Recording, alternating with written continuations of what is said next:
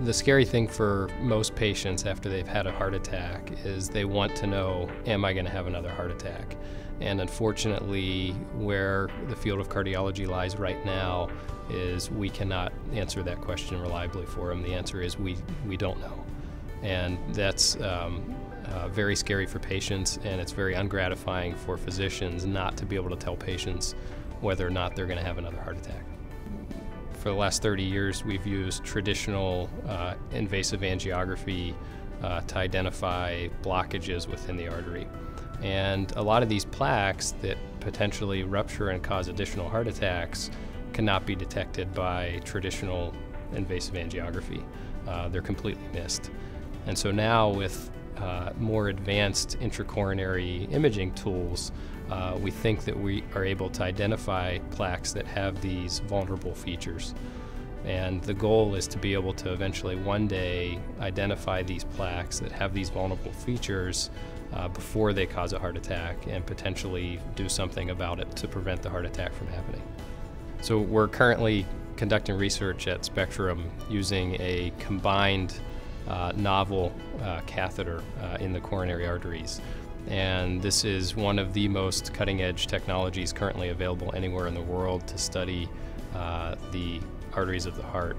And this uh, modality involves combining ultrasound within the artery with near infrared spectroscopy.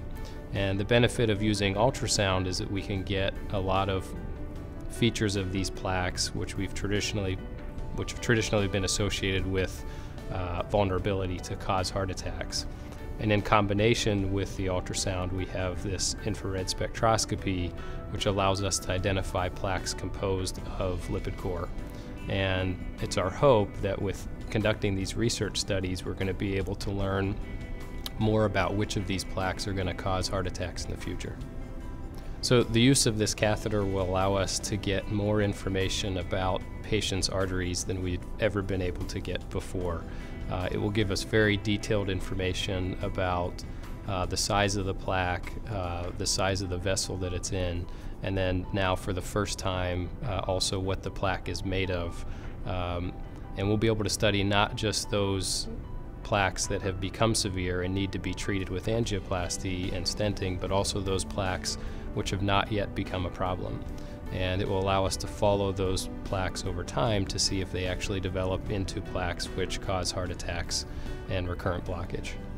With this catheter, we'll be on the cutting edge of advanced intracoronary imaging, uh, I think on par with any other institution in the country. So the new advancements in uh, advanced intracoronary imaging will hopefully take us from being very good at treating heart attacks to actually potentially one day preventing them it's very gratifying to be at an institution that has these advanced tools uh, to allow us to conduct these research studies to help move the field forward uh, towards our ultimate goal of being able to one day prevent heart attacks.